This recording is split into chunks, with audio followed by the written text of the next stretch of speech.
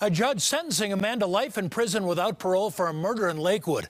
This was the scene back in June of 2019, West Colfax and Depew. That's where Chris Pride shot and killed 21 year old Roderick Vecchiarelli. Pride also robbed and shot another woman who survived. Two other people involved in that crime have already been sentenced.